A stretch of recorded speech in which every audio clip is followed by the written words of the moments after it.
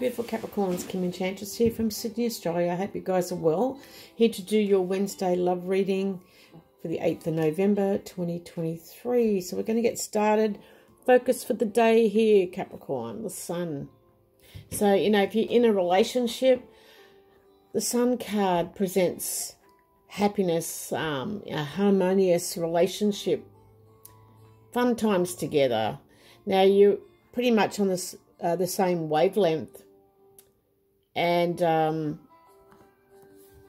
you're constructing the story of your relationship without transposing your individual desire on the other. So beautiful, beautiful card to start with.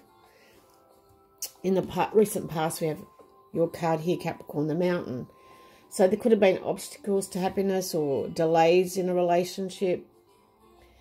You know, if you are definitely in one, it can be uh, speaking of issues in your relationship. If you're single, it can mean that you will be single for some time to come. And that's probably the way you want it. Now, in your thoughts, you have the woman. The woman is saying if you're in a relationship, it demonstrates a very loving relationship, you know, where both parties value the happiness of the other. And it's also about taking care of your partner with affection and respect, but not forgetting to take care of yourself as well. Some self love here needs to be done. The underlying issue is the bouquet. So, the bouquet, in terms of a relationship, represents love and affection, and harmony. So this is what you're looking for. This is the underlying issue. It signifies the presence of romantic gestures, you know, invitations, uh, out on dates and dinners, going out dancing, flowers perhaps, uh, you know, compliments that are coming your way, and overall pleasant interactions with your loved one.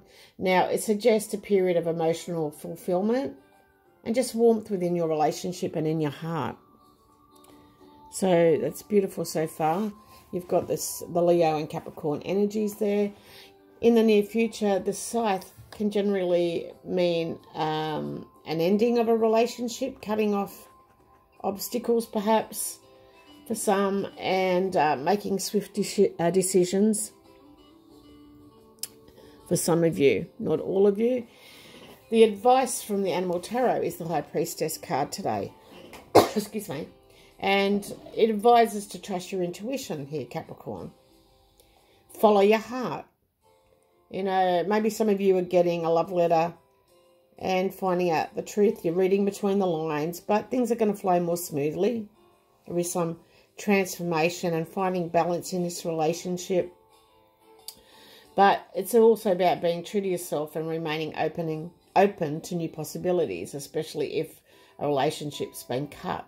Now, it could have a lot to do with being at a distance from your partner. Uh, it's just not working at, from a distance. But the High Priestess is a self card, so it's shown up for you today to advise you to focus more on having your own desires and needs that are met.